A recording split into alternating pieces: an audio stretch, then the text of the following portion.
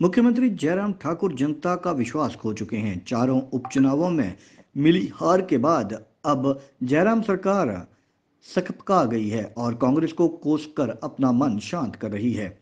ये पलटवार हिमाचल प्रदेश कांग्रेस के वरिष्ठ प्रवक्ता दीपक शर्मा ने किया है। उन्होंने मुख्यमंत्री जयराम ठाकुर द्वारा कांग्रेस प्रदेश अध्यक्ष को लेकर की गई टिप्पणी पर यह प्रतिक्रिया दी है। उन्होंने कहा कि मुख्यमंत्री को कांग्रेस अध्यक्ष की चिंता सता रही है।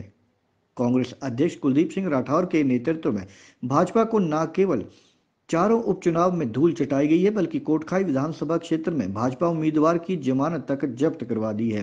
कांग्रेस एकजुट के साथ जन विरोधी जयराम सरकार को आगामी विधानसभा चुनावों में भी सत्ता से बाहर करने के लिए आगे बढ़ चुकी है। कांग्रेस प्रवक्ता ने कहा कि कांग्रेस विधायकों को लेकर मुख्यमंत्री की टिप्पणी, हताशा के सिवाय और कुछ नहीं है। उन्होंने कहा कि कोरोना संकट काल में जयराम सरकार ने भ्रष्टाचार के नए कीर्तिमान स्थापित किए हैं। देश में हिमाचल का सारण नीचा हुआ है। भाजपा के तत्कालीन प्रदेश अध्यक्ष को भी त्याग पत्र देना पड़ा था।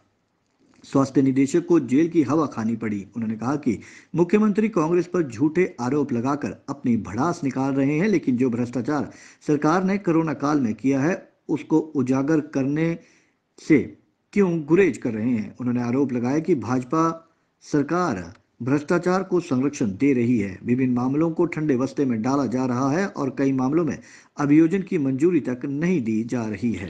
मुख्यमंत्री श्री जयराम ठाकुर जी ने हिमाचल प्रदेश कांग्रेस कमेटी के अध्यक्ष और विधायकों के बारे में जो बयान दिया है, वो भारतीय जनता पार्टी की हताशा को दर्शाता है।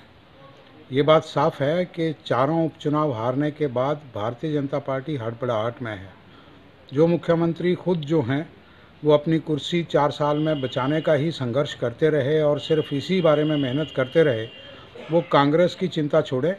कांग्रेस पार्टी चार ज़ीरो करने के बाद उपचुनावों में अब आगामी विधानसभा के जो चुनाव हैं, उनमें भी भारतीय जनता पार्टी का सुपड़ा साफ़ करने के लिए अग्रसर है और आगे बढ़ रही है।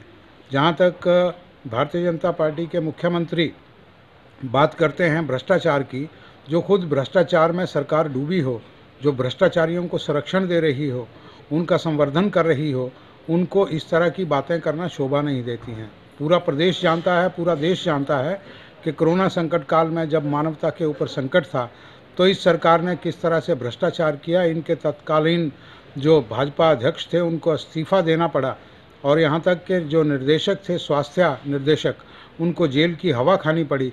आज भी बहुत से भ्रष्टाचार के मामले जो हैं, वो ठंडे बस्ते में डाले हुए हैं। यही नहीं, साथ ही साथ उन मामलों पे जिन पे अभियोजन की मंजूरी लेना ज़रूरी है, वो भी नहीं दी जा रही है। उनमें भी जो है देरी की जा रही है। ऐसी सरकार जो खुद भ्रष्टाचार में डूबी हो, वो भ्रष्टाचार की बात करें, ये शोभा नहीं देता है। निस्संदेह ये सरकार हड़बड़ाहट में है। सत्ताईस तारीख को जिस तरह से चार साल पूरे होने पर निस्संदेह ये हिमाचल प्रदेश के इतिहास में चार साल का वक्फा काला अध्याय है, जिसमें एक भी विकास का नीम पत्थर नहीं जोड़ पाए, ना ही कोई दृष्टिकोण अपना रख पाए, उल्टा प्रदेश को पैंसठ हज़ार करोड़ के कर्जे में डुबो दिया। इस सारी परिस्थितियों को देखते हुए इस सरकार को जो जन विरोधी फैसले लिए, जो कर्ज में हिमाचल को डुबोया, जो कोरोना संकट काल में भ्रष्टाचार किया, इसके प्रति सरकार को माफ़ी मांगनी चाहिए और क्षमा दिवस के रूप में इसको मनाना चाहिए। ये निसंदेह काला दिवस है। इसमें जो भी ये खर्चा किया जा रहा है, ये फिजूल खर्ची है। कांग्रेस पार्टी इसकी कड़े शब्दों में निंदा करती है।